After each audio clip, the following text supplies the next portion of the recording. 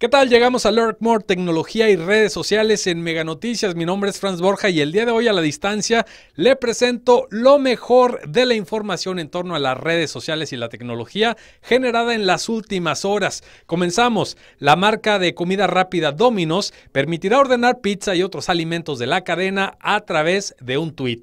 La característica comenzará a probarse en los Estados Unidos el próximo 20 de mayo. Así los tuiteros que se sientan con hambre tan solo deberán publicar un mensaje al restaurante con el icono de una pizza.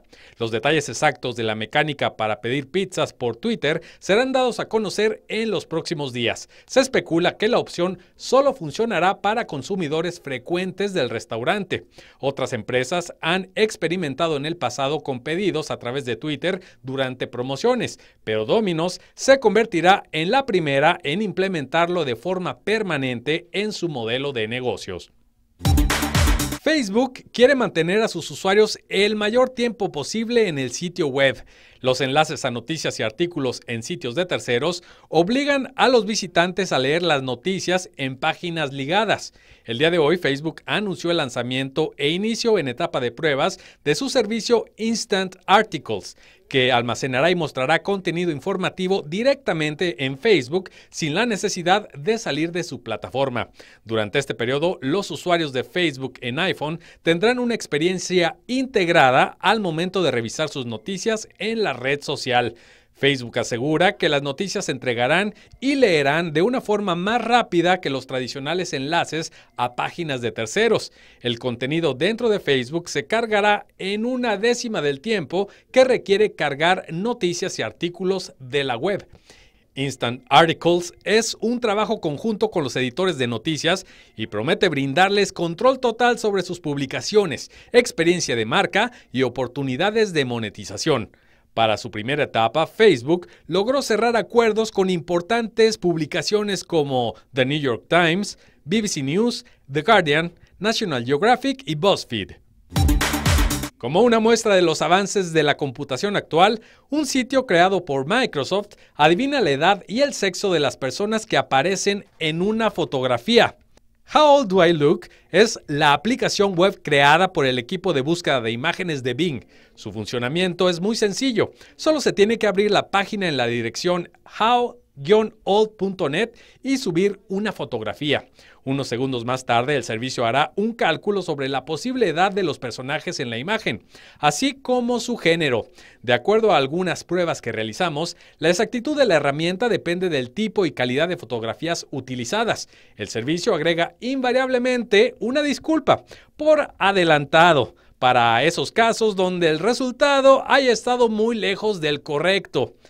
How Old Do I Look se basa principalmente en tres tecnologías clave, la detección de rostros, la clasificación de género y la detección de edad. La herramienta fue presentada discretamente a inicios de mes y durante estas dos semanas se ha viralizado gradualmente.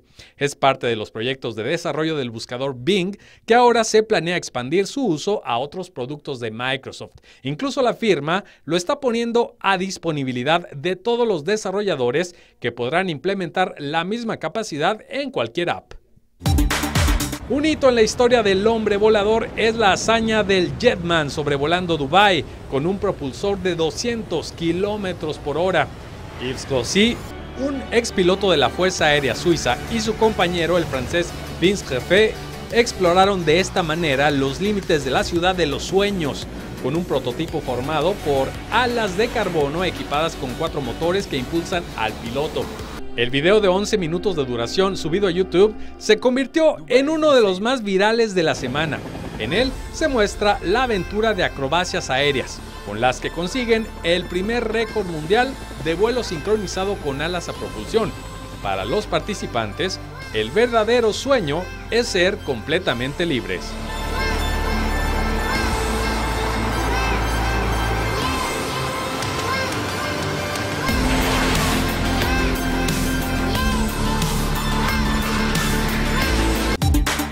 Gracias a un celular japonés ya no será necesario buscar la tarjeta de crédito para realizar compras en Internet. Si bien otros dispositivos como el iPhone ya permiten autorizar pagos con la huella dactilar, los usuarios del teléfono Arrows NX F04G de la compañía de telecomunicaciones NTT Docomo solo necesitarán mostrar los ojos al dispositivo para autorizar las compras. El Arrows NX, que utiliza el sistema Android 4.0, es el primer teléfono inteligente en utilizar el reconocimiento del iris en conjunto con la autenticación de huellas dactilares, tanto para desbloquear su teléfono como para realizar compras. Es poco probable que el dispositivo se comercialice fuera del territorio japonés, pero si tiene éxito, la tecnología podría ser adoptada por otros fabricantes de teléfonos alrededor del mundo. Y esto fue todo por el día de hoy en el segmento de las redes sociales y la tecnología, pero ya lo sabe, mañana regresamos con más información de este tema. Por ahora continúe informado en Mega Noticias, no le cambie.